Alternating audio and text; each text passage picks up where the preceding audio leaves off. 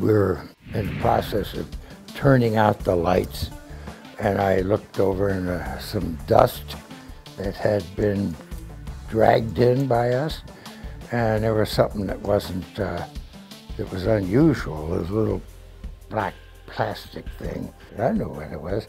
It was a circuit breaker, broken off part of a circuit breaker.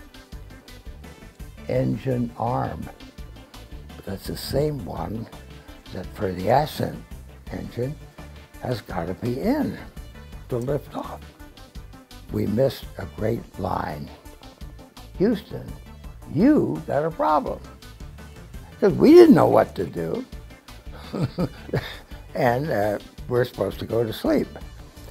So they were working feverishly in Houston trying to figure out some way that they could uh, look at the wiring and do something to get around that broken so that we could activate and uh, make the circuit capable of going when the computer says engine light so we could lift off. I look at my little finger. There's electricity behind this thing. That's maybe not a good idea. Uh, well, we got a ballpoint pen, a Fisher ballpoint pen. But that's metal.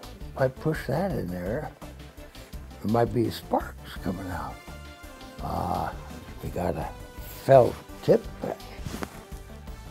So that's what I, I, you know, I had that specially to write down the rendezvous numbers so you could read them real easy. So I uh, pushed that in. Houston says, oh, we've got a, a good complete circuit. So we lift off. Big deal. You know, I think back about this. Here we are.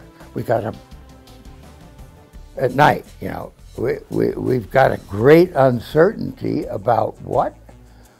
About whether, about whether we're going to get back home. And we went to sleep.